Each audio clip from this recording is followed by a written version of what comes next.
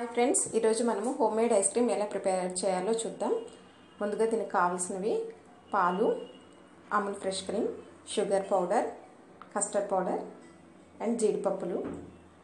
ముందుగా మనము షుగర్ని పాన్లో వేసుకొని టూ టేబుల్ స్పూన్ వేసుకుందాము. అది మెల్ట్ అయ్యేలాగా కలుపుకోవాలి. ఇలా చిన్న ఫ్లేమ్ మీద పెట్టుకొని మనము షుగర్ని కరిగించుకోవాలి. ఇది కరిగాక పాకంలాగా తయారవుతుంది. గోల్డెన్ కలర్ వచ్చిన తర్వాత మనము జీడిపప్పు పలుకుల్ని అందులో వేసుకోవాలి. ఒక పది జీడిపప్పుల పలుకులు అయితే సరిపోతుందండి. ఇలా ఈ పలుకుల్ని అందులో వేసి కలుపుకోవాలి. ఇలా కలుపుకున్నాక బటర్ ఉంటే వేసుకోవాలి. లేదా కొంచెం నెయ్యి వేసుకోవాలి. ఇలా వేసుకొని నెయ్యి రాసిన ప్లేట్లో వేసుకోవాలి. ఇలా దీన్ని ఆరనివ్వాలి.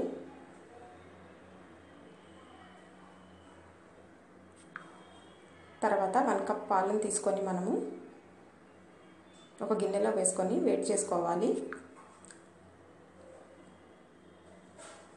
ఇది ఇలా వచ్చేస్తుందండి. దాన్ని పేపర్ మీద వేసుకొని చిన్న చిన్న పీసెస్గా కట్ కట్ చేసుకోవాలి. ఇలా నల్ల కట్టుకోవాలి చిన్న పీసెస్ లాగా.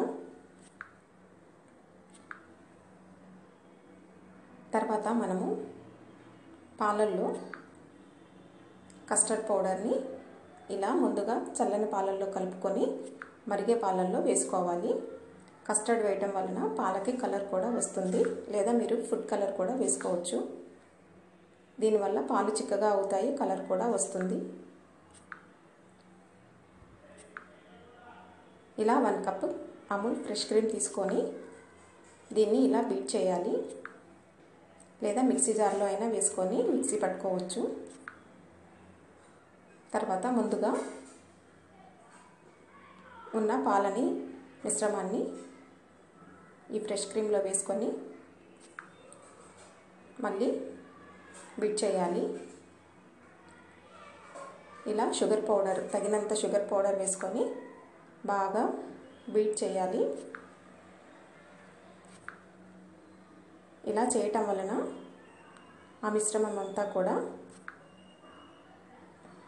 మంచిగా తయారవుతుంది. క్రీమీగా తయారవుతుంది. తర్వాత మనం ముందుగా ప్రిపేర్ చేసిన చిప్స్ని అందులో వేసుకోవాలి. తర్వాత ఒక బాక్స్లో వేసుకొని ఇలా టైట్గా మూత పెట్టుకొని ఫ్రిడ్జ్లో పెట్టుకోవాలి. ఒక సిక్స్ అవర్స్ పడుతుందండి. ఒకవేళ గట్టి పడకపోతే మరలా పెట్టుకోవాలి.